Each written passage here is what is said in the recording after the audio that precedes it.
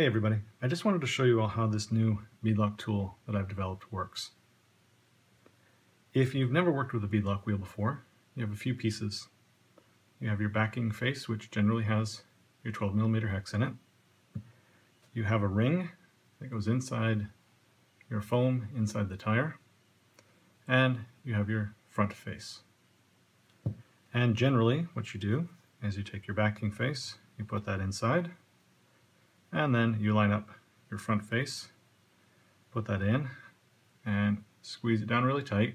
Hold it with that one hand. Go and grab your screws, try to fit one little tiny M screw, M2 screw in there. Take your driver and then try to put it all together. Meanwhile, holding it, hoping nothing slips out of line. It's always a frustrating experience, which is why I developed the tool. So the tool has a 12 millimeter hex on it and an M4 screw. So we take instead our back face, and we slide that down over the tool and we can put that down. We can then take our tire with the ring in it still and we can slide that down over the back face just the same as we would if we were holding it. We then take our front face and we again, same as we would before, line up the holes but instead of having to squeeze it down, we take the other half of the tool and we thread it on to the screw.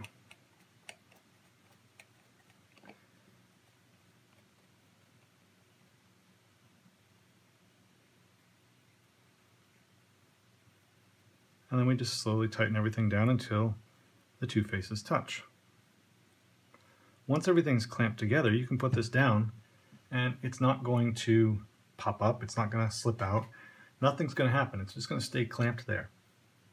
Whereas before when you're having to hold it clamped with your hand, you couldn't put it down without having to have everything come undone on you. So the next step is then we take a driver and one of our little M2 or sometimes two and a half mil screws and they fit right through the handle of the tool into one of the holes and we tighten them down.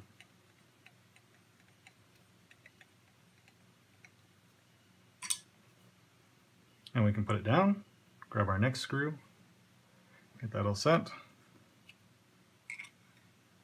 and put that in. And you can see it goes right through the handle of the tool. So you have plenty of access to all of the screw holes.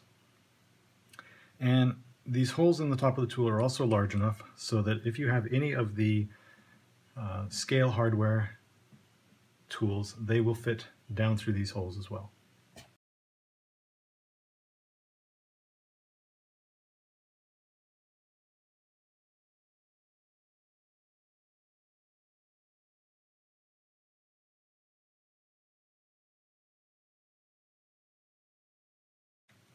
And we can't even set this down flat on the table and work one-handed.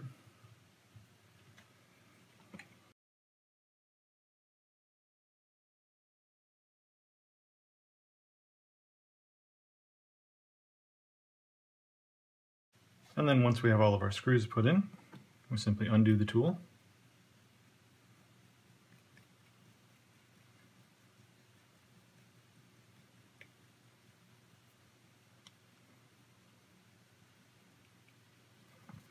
Press the back part out. Can set the tool aside, and the wheel's done. So a nice and easy way to do it you can do it one-handed if you really need to. You can set the, the wheel down and not have to worry about things coming apart and screws falling everywhere. It just makes things a lot simpler.